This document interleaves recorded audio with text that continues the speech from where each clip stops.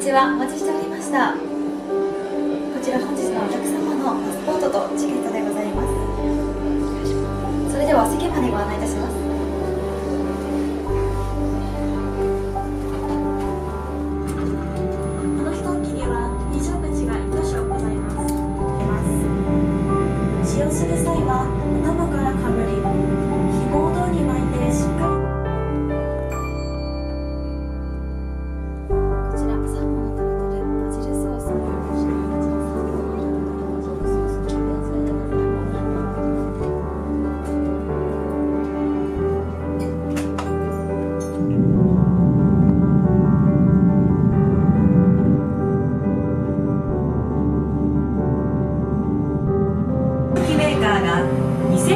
2050年の完成を目指し開発を進めていき。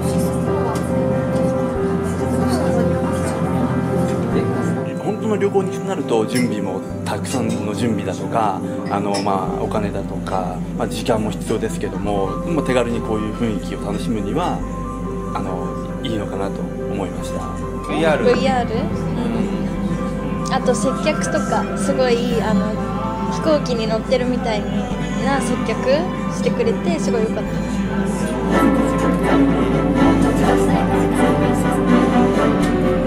からにはやはりここエッフェル塔年配の方がこちら多いんですけども、まあ、足腰が悪くなってしまったりですとか、なかなかその海外に行きたいと思ってもあの行けないっていうふうな方が、まあ、多くこちらのお店に、はい、ご来店いただいております。